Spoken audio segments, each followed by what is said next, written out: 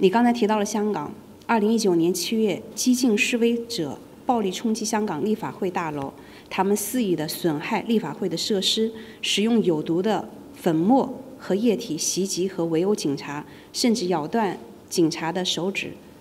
用刀刺伤警察。但是香港的警方保持了高度的克制和专业，没有一个示威者死亡。但是现在在华盛顿发生的事情，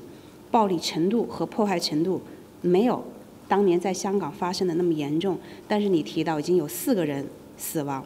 大家可能还都记得，当时美国的官员、议员还有一些媒体，他对香港用的是什么词？现在他们对美国用的又是什么词呢？美国的主流媒体都众口一词谴责，这是暴力事件、暴徒、极端分子、恶棍，是耻辱。那么当年他们形容香港的那些暴力示威者的时候，用的是什么呢？你刚才也提到了亮丽风景线，把这些激进暴力的示威者呢美化成民主英雄，说美国人民和他们站在一起。我想。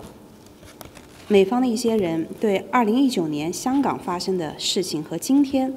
在美国正在发生的事情截然反应和用词截然不同，这种鲜明的对比及其背后的原因是令人深思的，值得大家呢都进行严肃和深刻的反思。我们相信美国人民是希望安全和安宁的，特别是在当前疫情的严峻形势下，我们也希望美国人民呢能够尽快的享有和平。